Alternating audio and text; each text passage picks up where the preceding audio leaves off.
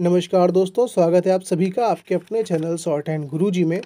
आज की वीडियो में फिर से हम 100 शब्द प्रति मिनट की गति से रामधारी गुप्ता जी खंडे के सीरीज़ को आगे बढ़ाते हुए पार्ट ट्वेंटी में पहुँच चुके हैं, जिसमें प्रतिलेखन संख्या इक्यावन, बावन, तिरपन और चौवन सम्मिलित है। सभी लोग वीडियो को लाइक कर दीजिए डिक्टेशन स्टार्ट हो जाएगी पाँच सेकेंड के बाद।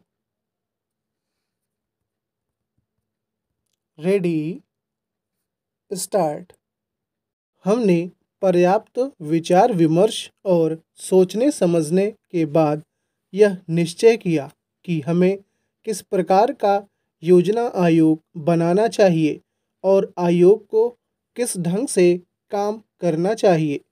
योजना आयोग में निर्दलीय, स्वतंत्र विचारों वाले और गैर राजनीतिक विशेषज्ञ होते हैं, लेकिन वे पूरी तरह से योजना के लिए जिम्मेदार नहीं होते।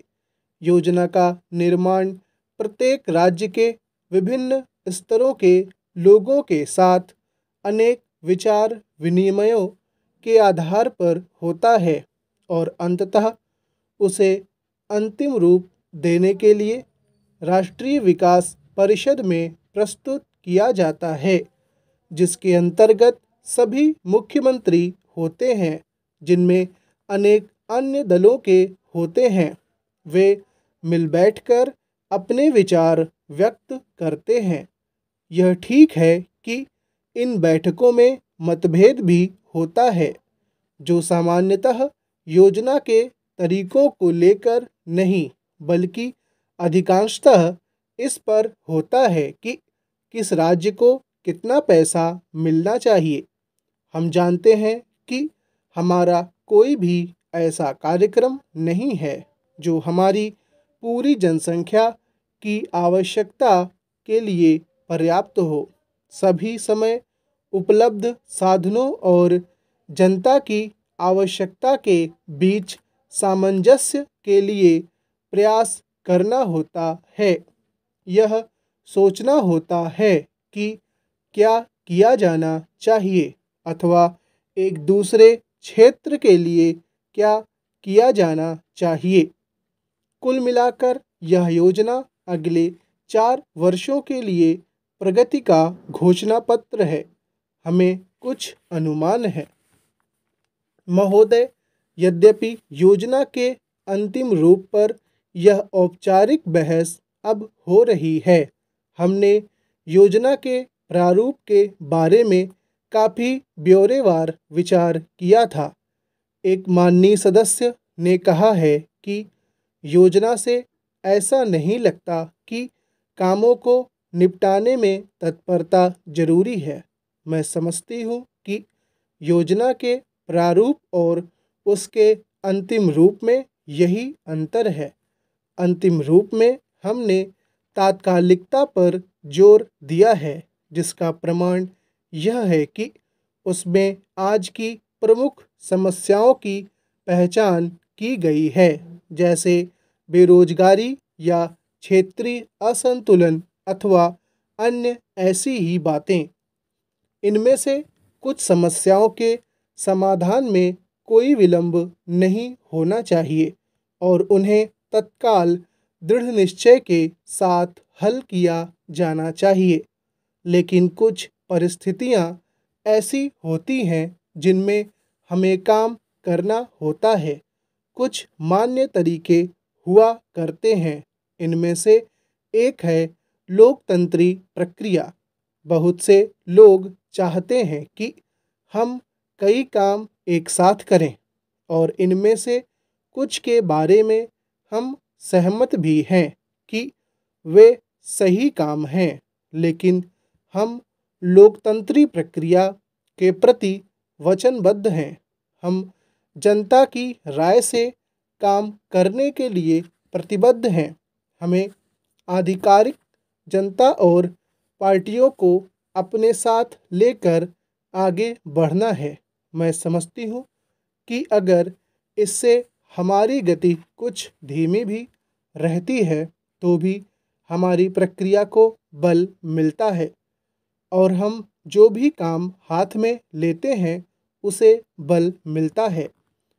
दूसरा तरीका मिश्रित अर्थव्यवस्था का है, जिससे शायद कुछ लोग सहमत नहीं हैं, लेकिन जिसे हमने अपने लिए निर्धारित किया है, ऐसी अर्थव्यवस्था की अनेक त्रुटियाँ भी होती हैं।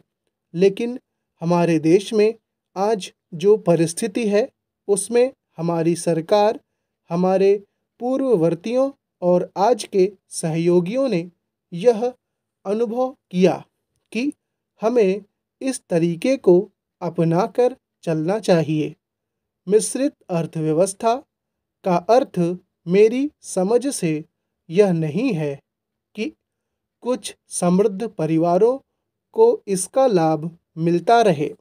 कृषि या लघु उद्योग जैसे अनेक क्षेत्र कमज़ोर वर्गों के लाभ के लिए निजी क्षेत्र में रखे गए हैं और हमारी मिश्रित अर्थव्यवस्था के अंतर्गत अपने लिए लोगों को अनेक कार्यक्रम अपने हाथ में लेने के अलावा उनमें अपने लिए काम करना चाहिए। मुझे मालूम है कि स्वाधीनता के तुरंत बाद जो स्थिति उत्पन्न हुई थी।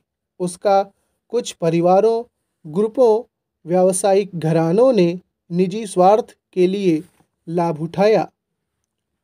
महोदय, हम सभी इस बात के शिकार हो जाते हैं कि अपने दलगत स्वार्थ में आकर गलत काम कर बैठते हैं।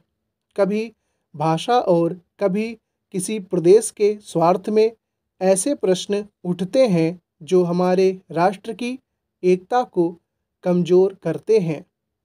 अभी एक माननीय सदस्य ने यह प्रश्न उठाया और आरोप लगाया कि भारत सरकार कुछ प्रदेशों के साथ इंसाफ नहीं करती। भारत सरकार कुछ प्रदेशों के प्रति पक्षपातपूर्ण नीति अपनाती है। यही मनोवृत्ति है जिसमें एक प्रदेश को दूसरे प्रदेश के विरुद्ध भड़काया जाता है। एक जाति को दूसरी जाति के विरुद्ध खड़ा किया जाता है।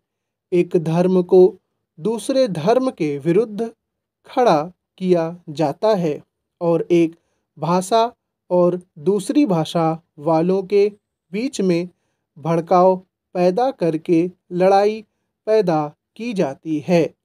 यही मनोवृत्ति है। जिसको हमारे विरोधी दल के बहुत से लोग भड़का कर पैदा करते हैं। उनकी अपनी गलत नीतियों के कारण विशाल दृष्टिकोण नहीं होता है और वे ऐसे प्रश्नों को उभार कर अपना स्वार्थ सिद्ध करते हैं। स्पष्ट है, ऐसे समस्त प्रश्नों का परिणाम हमेशा बुरा होता है, इसलिए मैं सभी राजनीतिक पार्टियों के नेताओं से अपील करना चाहूँगा कि जो प्रश्न हमारे देश के सामने हैं और जिन पर हम सबको चिंता हो रही है तथा जिनका हल निकालने की हम कोशिश करते हैं, उन तमाम प्रश्नों के ऊपर हम ठंडे दिल से विचार करें। श्री वाजपेयी ने एक अच्छी बात कही। उन्होंने कहा कि इन प्रश्नों का हल सड़कों पर नहीं होगा। मैं भी उनसे इस बात में सहमत हूँ कि इन प्रश्नों का हल प्रजातांत्रिक ढंग से ढूँढने का प्रयत्न करना चाहिए। हमें इनका हल प्रजातांत्रिक व्यवस्था के अंदर करना होगा। सड़कों के ऊपर इन प्रश्नों का हल नहीं हो सकता है। राजस्थान के अंदर जो अकाल पड़ा हुआ है और लोग मर रहे हैं, उसकी तरफ़ चिंता नहीं हो रही है। अब राजस्थान में जो संकट है और इस तरह के जो दूसरे प्रश्न हैं, उन पर हम लोग एक साथ बैठकर गंभीरता से विचार करें और उनका हल तलाश करें। खाली इस तरह से आरोप लगाने से और उपदेश देने से काम नहीं चलेगा। इस देश के अंदर बंगाल में बाढ़ से जनता पीड़ित हो रही थी और उसको अनाज, कपड़ा और जीवन की रोज़मर्रा की आवश्यक सामग्री भेजने की कोशिश हो रही थी। महोदय उस ज़माने में रेलवे कर्मचारियों को भड़काकर के हड़ताल करना और फलस्वरूप एक ऐसी व्यवस्था पैदा करना जिसके कारण बंगाल के पीड़ित लोगों की सहायता न की जा सकी। उचित कार्य था, लेकिन यह कार्य मेरे घर के भाइयों ने किया था। मेरा यह कहना है कि केवल उपदेश से काम नहीं चलता है। स्टॉप। डिक्टेशन आपको कैसा लगा है, प्लीज़ कमेंट करके ज़रूर बताइएगा। तो मिलते हैं फिर नेक्स्ट वीडियो में तब तक के लिए गुड बाय